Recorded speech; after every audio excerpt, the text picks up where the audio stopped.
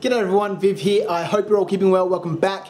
Taking a short break from the Denisovans. I've still, uh, I haven't got any further than the previous video update. Took a bit of a break from those. I wanted to get a bit more work done on the desert table that I've been uh, working on for the last couple of weeks now. It was supposed to be a very quick project, but I guess in the grand scheme of things, the amount of time I've spent working on it, it has been a fairly quick process.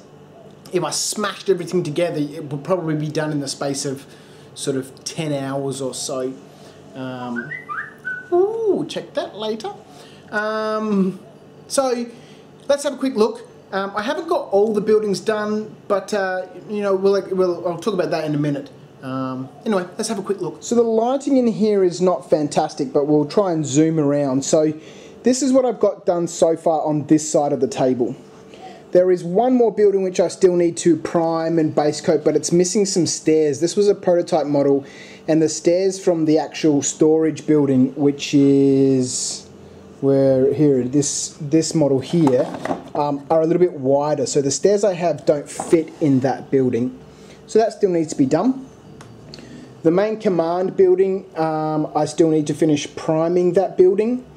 And then uh, the little market stands they're not going to go any higher than this brown here because I'll dry brush this because it's all supposed to be wood so I need to finish the first coat color this brown color on those two buildings and then those will all be ready for dry brushing. Um, but yes, so here is the main structure of the buildings. So at the moment they've gone from that brown colour through their mid-tone and then their highlight. Now the highlight and the mid-tone are very close to each other, but I'll show you those paints in a minute because wet they're quite different. Um, so again, these have just been very quickly airbrushed.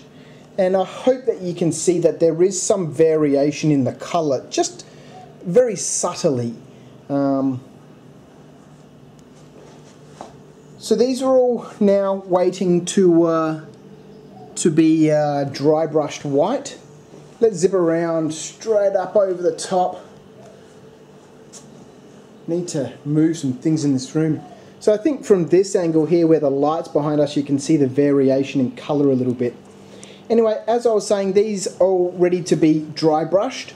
I'll put a, a flat white dry brush on these just to help pick out that detail that you can see close up and then once that dry brush is done I'll hit them with some weathering spray and that's fantastic stuff and I'll talk about that later on.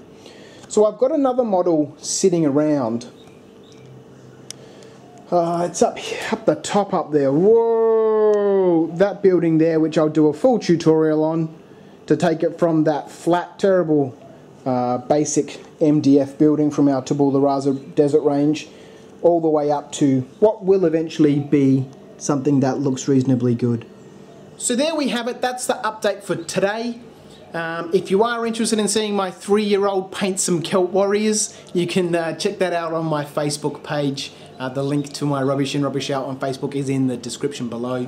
Uh, she's very cute and she loves to uh, paint them all different sorts of colours and I'm slowly collecting them and keeping them and uh, I'll wash them all at some stage, throw a wash on them, glue them to some bases and do the bases up and I'll keep those so that when she's a little bit older and she has absolutely no interest in, in toy soldiers, um, at least I've got that for me uh, as some time that we spend together. Painting little mans! There we go. I hope you're all having a great weekend. Long weekend here in Australia. So I'm hoping I can get a fair bit of stuff done.